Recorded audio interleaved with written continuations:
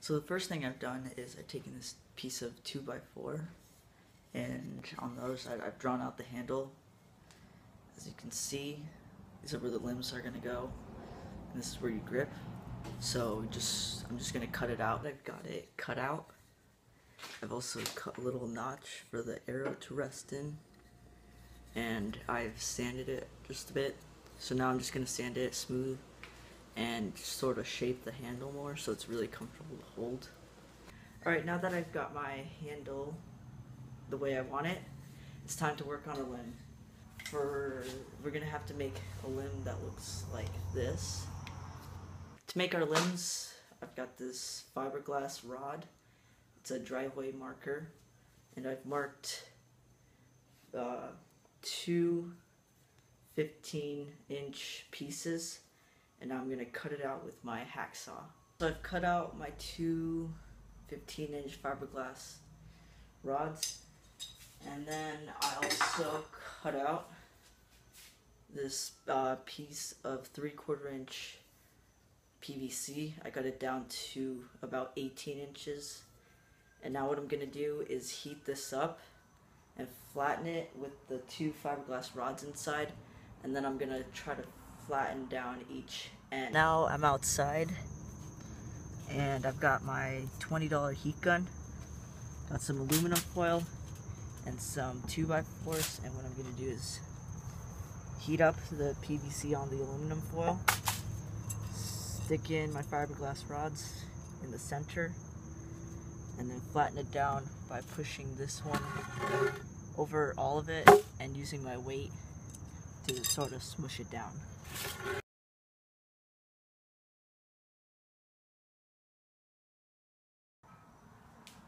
Alright, so now that we've got our limb, we need to add a pulley.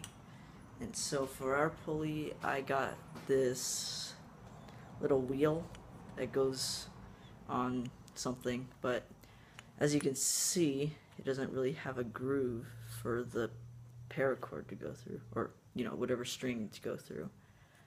So, how do we get from this to something more like this with Alright, so what I'm what I did with that one is I took my hacksaw and cut it straight through the, uh not straight. I cut a groove down the middle through the whole thing. Not all the way deep, just enough so that it would be deep enough for the paracord to sit. And then since that groove isn't big enough, I have a triangle file like this and I would basically widen that groove. And then once I got that since it's not really circular shape and the string isn't gonna stay in there that well a round file kind of like a rat tail file. And that's why is gonna make it so the paracord just sits in there and it'll be really smooth now, in case you're wondering why I can't just uh, put a groove in it with this, it, and that's because with this, it's going to try to slide off, and then you're not going to have a nice, clean center groove. Alright, now that we've got that done, we need to attach this to the limb. And all we're going to do is sort of place it on there, mark out where the holes are, and then just drill some 3 16th inch holes and then just attach it using some nuts and bolts. When you're done, it should look something like this. Alright, now to attach the limbs to the body or the handle, just use some more nuts and bolts and just put at least two and that should work.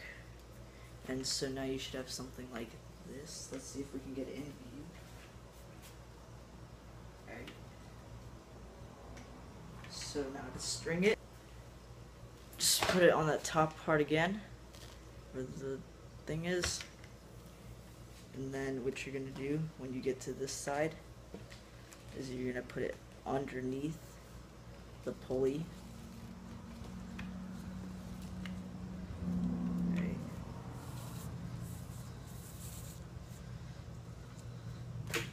and then go around and put it on top of this pulley and then through. Oh jeez. Oh jeez.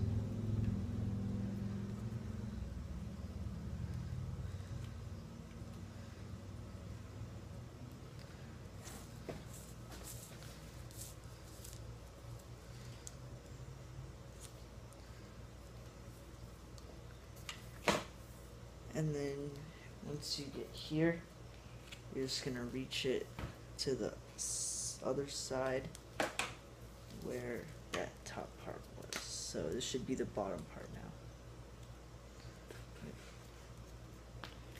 Right? Once you've got it strung up, it should look, oh geez, the hands are bending. It should look like this.